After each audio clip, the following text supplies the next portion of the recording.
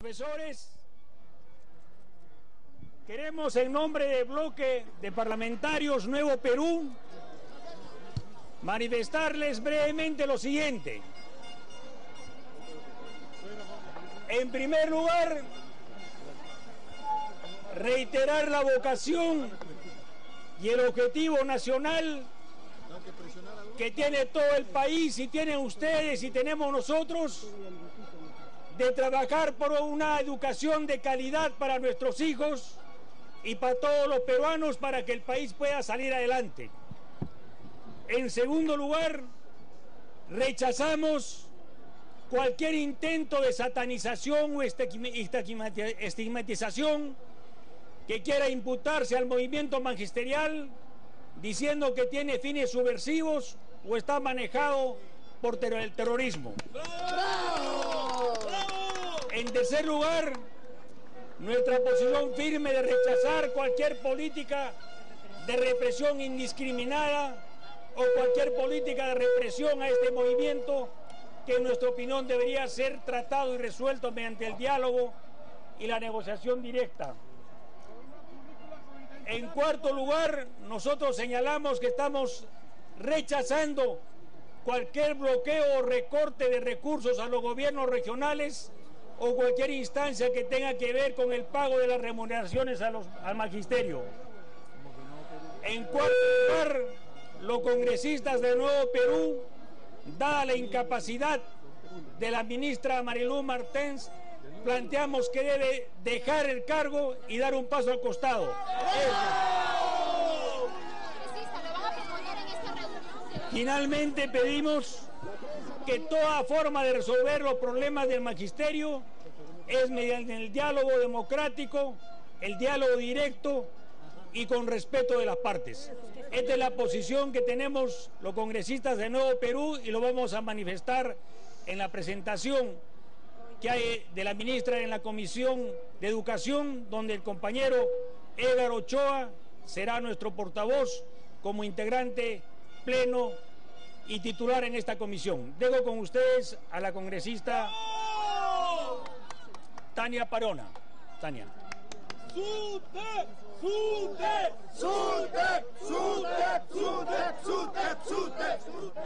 Y vamos a ir ahora con el directo y Melissa Pesquera, adelante. Un saludo fraternal. Muchas gracias, eh, Carla, por el pase. Estamos escuchando entonces a representantes de diferentes eh, provincias, diferentes zonas del eh, que participan en esta huelga de maestros.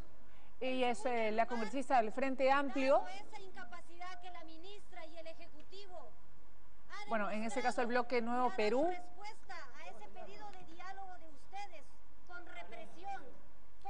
Se trata de Tania Pariona, no la escuchamos muy bien, pero bueno, ellos en realidad están apoyando la marcha y la protesta de los profesores, están pidiendo que se respete esta marcha y que se lleve con eh, absoluta paz, cero violencia contra los eh, profesores. Eso es lo que está pidiendo en realidad ambos bloques del Frente Amplio, tanto de Nuevo Perú como el bloque de Marco Arana.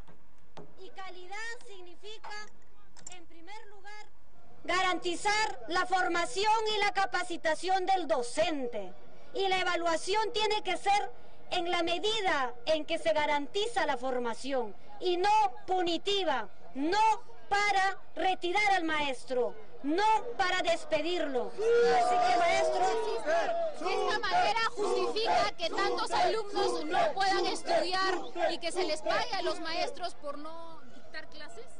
Hemos planteado con claridad, maestros, que nosotros no estamos de acuerdo con el descuento que se le aplique a los docentes que están hoy movilizados en defensa de sus derechos laborales, en, en, defensa del derecho a una educación de calidad, ni mucho menos el recorte a los gobiernos regionales. Eso nos parece una decisión totalmente arbitraria, sabiendo que en la ciudad Lima Capital hay más de 70 mil maestros que se han desplazado del interior del país exigiendo el trato digno y exigiendo un presupuesto digno para lograr alcanzar esta aspiración a una educación de calidad. Muchas gracias.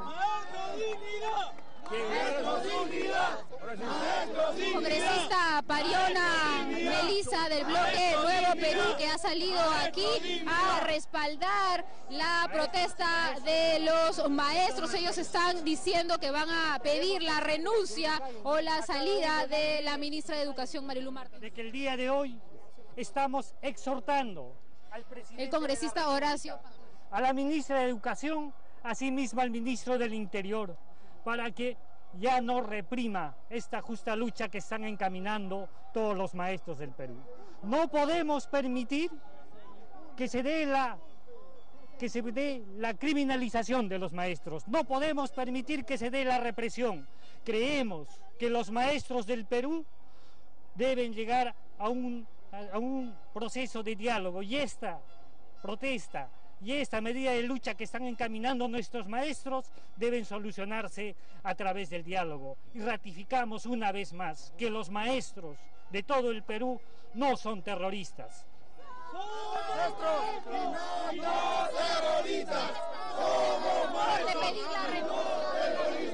Mire, la ministra situación de reacción muy agresiva de parte de los maestros por la estigmatización que se ha generado. Es evidente que este nivel de conflictividad ha llegado ya a un tope que no se puede permitir y por eso pedimos que dé un paso al costado.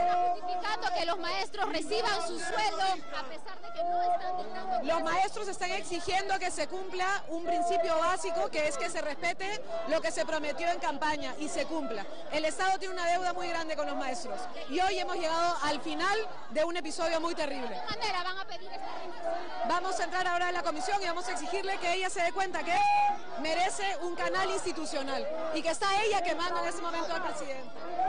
Declaraciones de la congresista Marisa Glave Melisa. Exteriores del Congreso de la República, congresistas del bloque Nuevo Perú han salido a expresar su respaldo a los maestros.